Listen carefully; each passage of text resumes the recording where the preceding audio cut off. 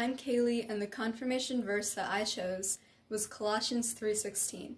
Let the word of Christ dwell in you richly as you teach and admonish one another with all wisdom, and as you sing psalms, hymns, and spiritual songs with gratitude in your hearts to God. I've chosen this verse because it reminds me how important God's word is and its significance in my faith journey. When I first got my second grade Sunday school Bible, my parents had picked out this verse to help guide me in my faith. Ever since I read the verse, I have surrounded my life around it, whether it's helping teach the younger kids about God's Word or singing in choirs, I've connected it back to this verse. By reading God's Word and recognizing how important it is to contribute it into my life, then I am able to fully dwell in God's love.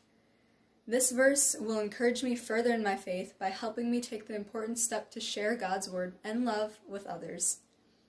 On my banner, I decided to add a Bible because the Word is what ties this whole verse together. I also added the phrase, let the Word of Christ dwell in you richly, because it is one of the most important messages within my verse.